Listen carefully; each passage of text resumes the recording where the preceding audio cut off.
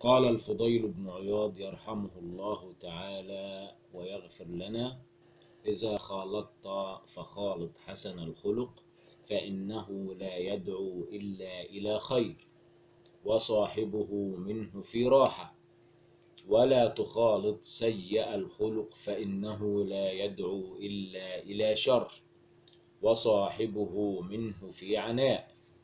ولأن يصحبني فاجر حسن الخلق أحب إلي من أن يصحبني قارئ سيء الخلق. إن الفاسق إذا كان حسن الخلق عاش بعقله وخف على الناس وأحبوه.